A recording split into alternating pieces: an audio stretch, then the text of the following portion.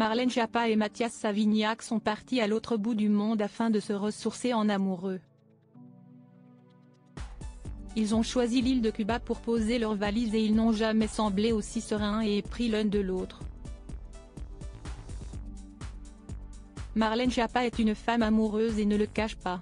Séparée depuis 2022 de Cédric Bruguière, père de ses deux filles, l'ancienne secrétaire d'État est désormais en couple avec Mathias Savignac, président de la Mutuelle Générale de l'Éducation Nationale, MGUN. Après un séjour en octobre au Canada avec son amoureux, où elle participait au Global Cooperation Forum à Montréal, voilà que le couple s'est envolé pour Cuba. Le duo a délaissé les pentes de ski et les fraîches températures françaises pour cette petite île très jolie. Loin de tout, les amoureux se sont reposés.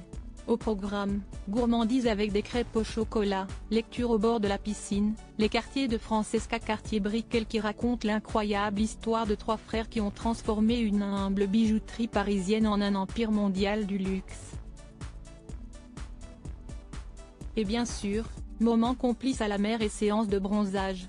Le couple a partagé toutes les photos de ces moments idylliques, dont deux selfies où ils prennent la pose amoureusement.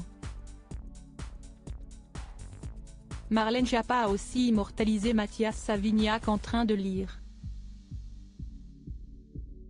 A plus tard sud de Cuba, écrit-elle, jeudi 28 décembre, en commentaire.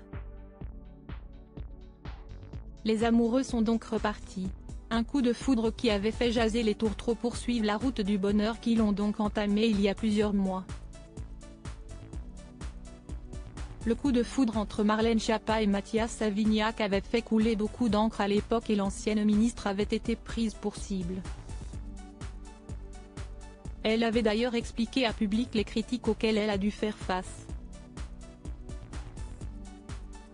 Si est assez ironique de voir à quel point les femmes sont toujours jugées sur leur vie personnelle, réelle ou supposée. Chaque femme a le droit à la liberté dans sa vie privée avait-elle expliqué. Et elle avait fait le choix d'être transparente très rapidement quand cet amour est né. Elle avait poursuivi, un coup de foudre, si est rapide. Et quand on est ministre, la haute autorité pour la transparence de la vie publique, ATVP, nous demande de déclarer les relations de couple que l'on peut avoir avec des personnes qui exercent dans notre secteur.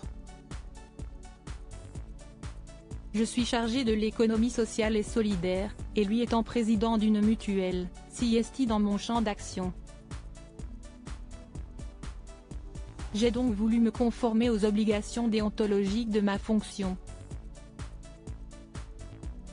Depuis qu'elle n'est plus au gouvernement, Marlène Schiappa est associée au sein du cabinet de conseil en communication Tilde.